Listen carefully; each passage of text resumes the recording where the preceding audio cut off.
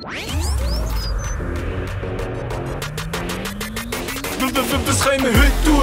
Der Mutter Erde drücken. Es gibt die, die nur lavern und die, die neben krüppen. Willkommen hier bei Contact, wir sind die, die es machen. Reden den Boden nach oben verschoben und lösen krachen. Entfachen ein Feuer für Solarenergie. Wir schaffen Lebensräume, laisse-moi te dire. Un poids avec ou pas, Vergleich zur unbezahlbaren Biodiversität. Wir sind Büzer und Denker, Athletinnen, Tänzer. Imker in Finken, die nach Honig kredenzen. Wir sind Görler und Kämpfer, Binkuriden, die an die Weiz sich das Sorgfalt das Herz appellieren. Wir montieren beflissen, muffen und fließen, das Pflänzchen kann sprießen. Musst sie auch gießen, mit Schuften und genießen, die Luft hier am Niesen. Und dann tun wir auch noch... Nein, das wäre in Stockholm. Ah, sicher nicht. Doch, der Nies ist der. Echt?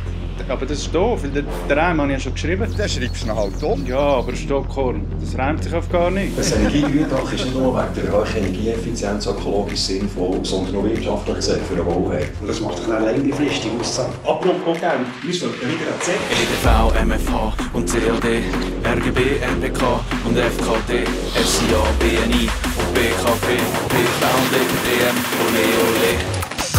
spielt im Klimaschutz eine Rolle. Die hier, wenn du willst, kannst du auch verloren. Verloren, kein Moment erwähnt, ist hier. Wir geben Gummi, weil sich Dächer selber selber bauen. Genaue gesagt, wir vulkanisieren, extrudern und stanzen, bis sich Welken verbiegen. Und blotten wie ein Berg und härigen Blutung. Gewährleisten so eine rosigere Zukunft. Zukunft geht der Erde bald der Sprit aus. Darum waren wir mit EU, krebeln der Zeit raus. Mit Blick auf die Umwelt sehen wir unsere Pflicht. Lieber Knickfix beschichtet als ein Knick in der Fichte. Verglichen mit diesen zwei Minuten Sing-Song braucht das Dach seine Zeit. Das ist ehrlich kein Spaziergang. Eine Frage bleibt im Raum, während die Musik noch ein bisschen nachhält. Was können wir heute tun für unsere Nachwelt?